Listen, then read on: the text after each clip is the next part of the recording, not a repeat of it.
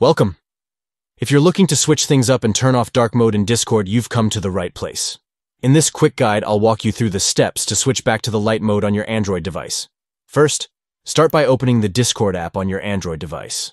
Once you've logged in, look for your profile picture located at the bottom right corner of the screen. Give that a tap. Next, you'll see a gear icon at the top right. This is your settings menu, so go ahead and tap on that as well. Now, you're getting closer to your goal. Scroll down a bit until you find the option labeled Appearance. Tap on it to dive into the display settings. Here, you'll see a variety of options for customizing your Discord experience. Now look for the Theme section. Tap on it, and you'll find several choices available to you. At the bottom of this list, you'll see the options for light mode, night mode, and others. Simply select the mode you prefer, and just like that, you've turned off dark mode. It's that easy. Now you can enjoy a brighter Discord experience. Thanks for watching, and happy chatting.